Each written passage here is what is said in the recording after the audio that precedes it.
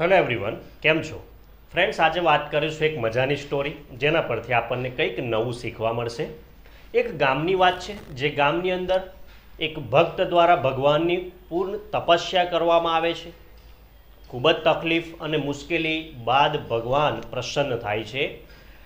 ભક્ત ભગવાન પાસે વરદાનની અપેક્ષા રાખે છે, પરંતુ ભગવાન દ્વારા એક કન્ડિશન મૂકવામાં આવે છે કે ભક્ત તને જે કંઈ હું વરદાન આપીશ એ વરદાન તને તો ચોક્કસ મળશે જ.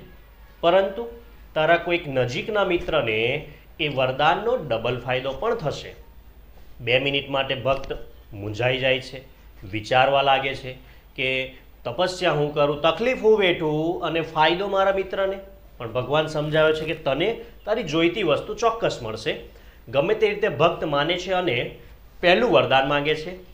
કે ભગવાન, મારું મકાન, મારું ઘર ખૂબ જ કાચું છે, જૂનું છે, તૂટી જાય એવું છે, તો તમે મને એક સરસ બંગલો બનાવી આપો, જેમાં હું મારા પરિવાર સાથે રહી શકું, જેમાં સંપૂર્ણ ફેસિલિટી હોય. તો ભગવાન તથાસ્તુ કહે છે અને જુએ છે તો એનું ઘર ખૂબ જ આલિશાન બંગલોમાં રૂપાંતર પામે છે અને સાથે જુએ છે કે પોતાના મિત્રને ત્યાં પણ નવા બે મકાન તૈયાર થઈ જાય છે. એની જે ખુશી હતી, જે આનંદ હતો, પોતાનું મકાન જોઈને ક્યાંક ને ક્યાંક થોડી ખુશી ઘટી પણ જાય છે જ્યારે મિત્રના બે મકાન જોઈ લે છે. ભક્ત ભગવાન પાસે હવે બીજું વરદાન માંગે છે અને ભગવાનને કહે છે કે ભગવાન મને ફરવાનો ખૂબ જ શોખ છે મારી હોબી છે, તો મને એક સરસ આલિશાન કાર આપો, જે કારની અંદર હું મારા ફેમિલી સાથે જુદા જુદા નવા નવા સ્થળોની મુલાકાત લઈ શકું, ફરી શકું. તો ભગવાન કહે છે, તથાસ્તુ, જો તારા પાર્કિંગમાં જોરદાર કાર છે, જેમાં પણ ફૂલ્લી ફેસિલિટેડ કાર તને હું આપું છું, એ જોઈને જે ખુશ, ખુશી અનુભવે છે, જોઈને ખુશ થઈ જાય છે, આનંદ અનુભવે છે, પરંતુ એના મિત્રને ત્યાં જુએ છે.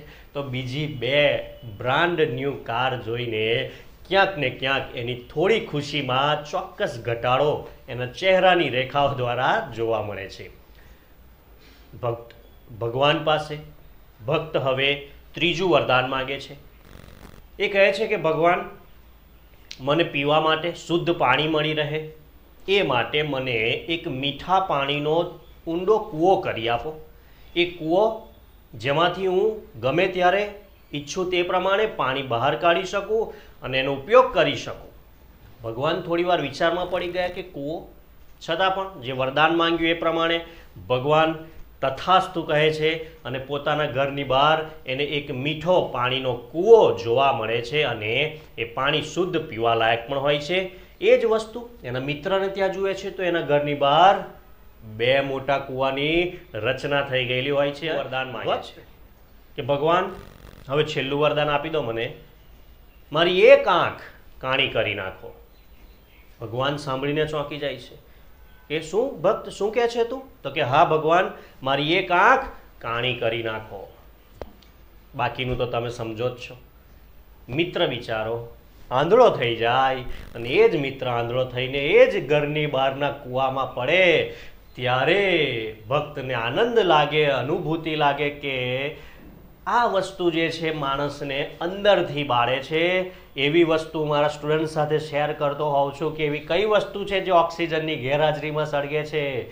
તો માણસ જે અંદરથી સળગે છે, બીજાની પ્રગતિ જોઈને એના માટે ક્યાંય ઓક્સિજનની જરૂર નથી પડતી. મિત્રો, હું એટલું કહેવા માગું છું કે આપણે હંમેશા બીજાની ખુશીમાં ખુશ થવું જોઈએ, બીજાની પ્રગતિમાં આપણે જોઈને પોતાની પ્રગતિ કરવી જોઈએ, નહીં કે સામેવાળાની પ્રગતિ અટકાવવી જોઈએ કે રોકવી જોઈએ. કે આપણે હંમેશા મહેનતથી પોતાની ખુશીઓને લાવવાની છે.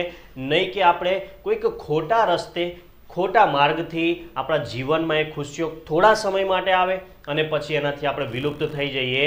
એ લાંબા ગાળે આપણને નુકસાન કરે છે.